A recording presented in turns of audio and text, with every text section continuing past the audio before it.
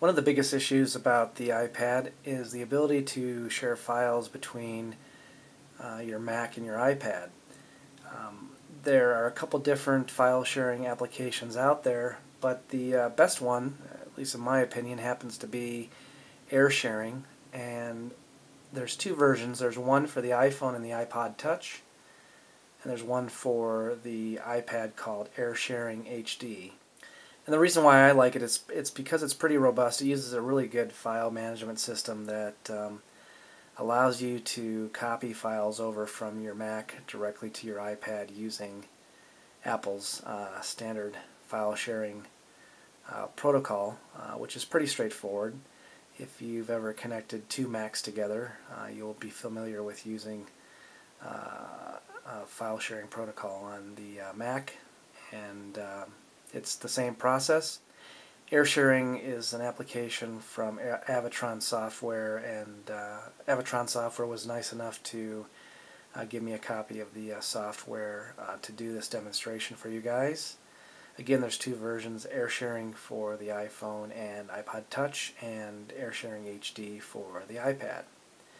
So I'm going to quickly run you through the application for the iPad first, and then I'm going to show you um, how you actually transfer files using your Mac. So I'm going to go ahead and open the application. It's called AirSharing HD.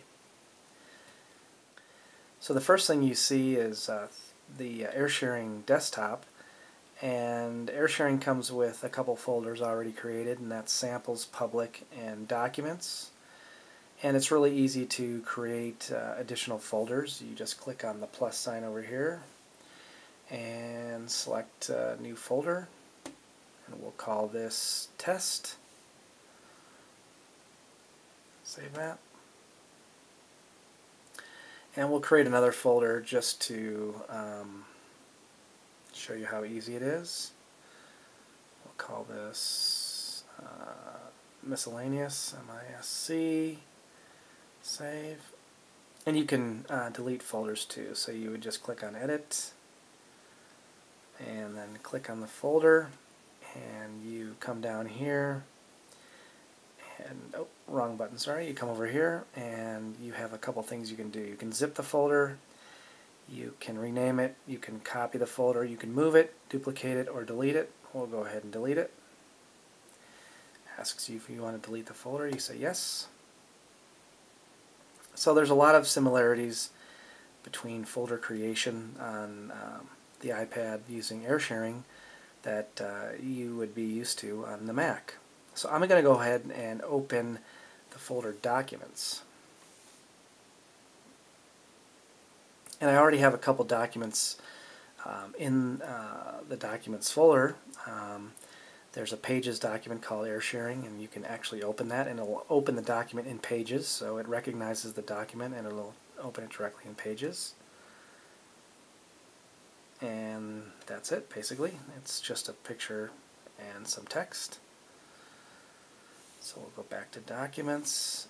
And I've got another um, file in there. It's a uh, image of the Apple logo.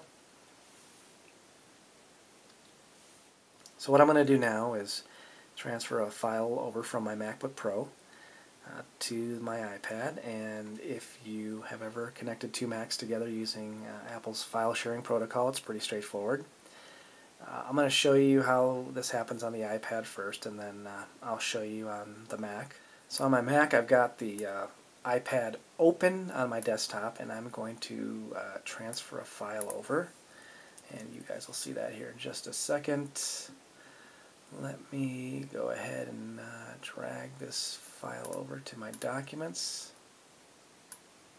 And when I when I transfer this file um, you'll see it show up um, you'll see another document show up here. So I'm getting ready to do it right now. And there it is. So I'll go ahead and click on the image. It was an image that I actually transfer, transferred over and I'll go ahead and click on it and it's a picture of my old iPhone so again, pretty straightforward, works really well.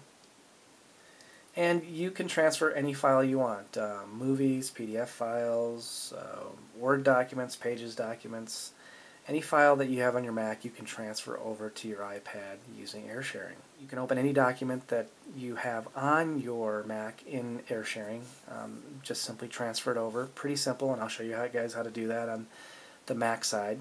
So we'll go back to documents again. I wanted to also explain something. You can also uh, you can select a document. Here's a PDF file, for example.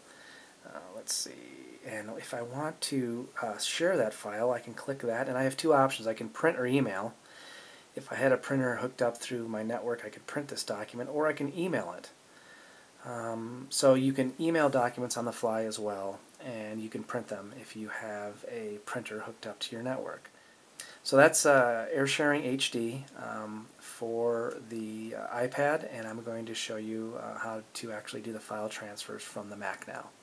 Alright, I'm going to show you how to connect to your iPad using AirSharing. Um, pretty straightforward. Again, if you've connected to another Mac before, it's really easy. Just click the Go menu button and go click Connect to Server.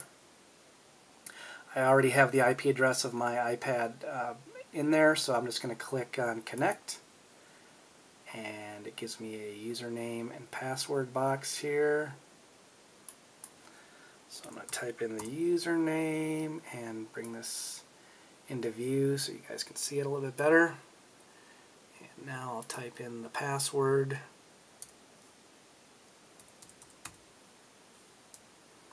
Now let's get the password right. Okay, and click connect. And there we go. So we've got the um, AirSharing, uh, well, actually, the uh, iPad shows up as a, as a disk. AirSharing is the software doing the connection between the MacBook Pro and the iPad using Apple's file sharing. So I'm going to go ahead and, and bring that into view a little bit better. And there's the six folders that I have on my iPad. Documents, movies, pictures, public samples, and test. I'm going to open the documents folder and there's the Apple logo that I transferred over just a minute ago, so we'll open that up. And there it is. And uh, AirSharing uses um, simple um, IP protocol, so you can connect uh, via IP address, uh, via the name of your iPad, or through HTTP. So you have three different ways, just like with normal Apple file sharing. So it makes it really easy to connect to your iPad. Again, you can download air sharing from the Apple the App Store. And uh, again, I've been using it for six months. Great application for doing file sharing between your Mac and either your iPhone or your iPad. So thanks for stopping by, guys, and I will talk to you later.